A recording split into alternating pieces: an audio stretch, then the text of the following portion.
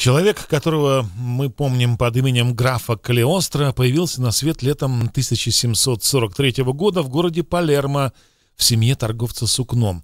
Мальчика назвали Джузеппе Бальзамо, и это, кстати, первая тайна мистификатора, ведь на языке каббалистики «бальзамо» означает «тот, кто был послан». С кем? Кем и с какой целью был послан в наш грешный мир человек, который по некоторым самым смелым версиям жив до сих пор. Из школы юного Джузеппе исключили из-за банальной кражи. На семейном совете было решено отправить неуемного отпрыска на перевоспитание в монастырь бенедиктинцев. Именно там он изучил основы химии и медицины. Правда, вскоре юношу выгнали оттуда за мошенничество, чем, впрочем, он и стал заниматься в миру, продавая чудодейственные снадобья и старинные карты с обозначением мест, где якобы спрятаны клады. Когда обман раскрылся, начинающему авантюристу пришлось спасаться бегством и поменять имя. Джузеппе Бальзама превратился в Алессандро Калиостро, присвоил себе титул графа и мотанул в Египет. Именно там, как полагают историки, ему удалось получить доступ к тайным знаниям древних египтян. После возвращения в Италию псевдограф женился на красавице Лоренцо Филичьяти и вскоре всплыл в Лондоне, где произвел фурор, выращивая драгоценные камни и угадывая выигрышные лотерейные номера.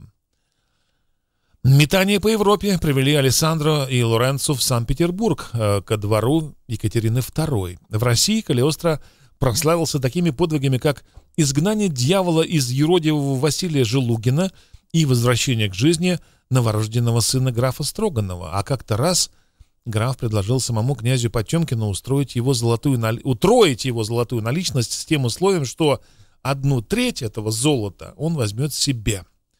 Ну, Григорий Александрович, будучи богатейшим человеком Европы, согласился на это исключительно ради развлечения. Две недели спустя золото было взвешено и подвергнуто анализу. То, что сделал Калиостро с золотыми монетами Потемкина, до сих пор пытаются понять ученые. Но их действительно стало больше, ровно в три раза. Шокированное русское дворянство, тем не менее, обвинило графа в мошенничестве, и ему пришлось спешно покинуть Российскую империю. На прощание Калиостро отчебучил еще один фокус, над разгадкой которого до сих пор бьются его биографы. Записи о пересечении графом Калиостро границ России обнаружились в архивах всех четырех тогдашних погранзаставах.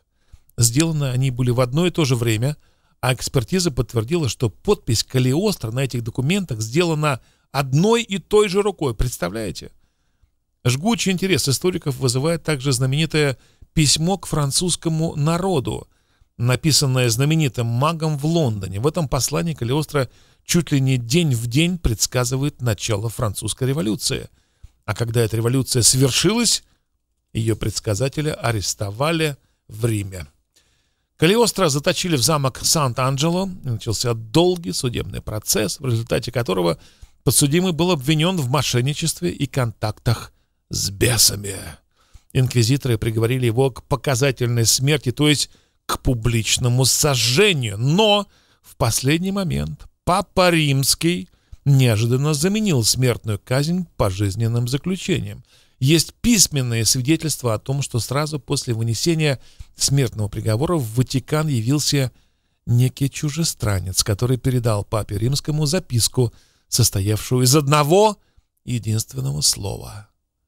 Что это было за слово, никто уже, наверное, никогда не узнает. Но, прочитав это слово, папа римский тут же принял гостя. А после аудиенции, длившейся всего несколько минут, кстати, отдал распоряжение отменить смертную казнь графа Калиостро. Вот так вместо смерти 7 апреля 1791 года в церкви Санта-Мария на площади Минервы состоялся торжественный ритуал покаяния Калиостро Босой и одетый в простую рубаху стоял он на коленях со свечой в руках и молил Бога о прощении. Для пущего впечатления церковный палач, который должен был сжечь Калиостро, сжигал на площади богатую библиотеку графа, собранную в разных странах, и весь его волшебный инвентарь. После процедуры покаяния Калиостро доставили в замок э, Сан-Лео в горах Марке в Тоскане. Крепость эта в те времена принадлежала Ватикану и служила одновременно и крепостью, и тюрьмой. Графа доставили в камеру в специальном ящике, а камера представляла собой каменный мешок с отверстием в потолке. Заточив в этот каменный мешок, церковь тем самым признала, что маг и мошенник на самом деле – обладал тайными знаниями, которые могли всерьез подорвать церковный авторитет. В сырой темной камере Калиостро провел четыре года, за которые его ни разу не вывели на прогулку. От чего в итоге скончался Калиостро, историки тоже спорят до сих пор. По одной из версий от пневмонии, по другой от яда, подсыпанного в пищу. Когда Калиостро умер, Загадки с ним связанные на этом не закончились. До сих пор никто не может отыскать его могилу. Зато даже в наш просвещенный 21 век находятся люди, которые якобы видели его живым и здоровым то ли в Индии, то ли на Тибете.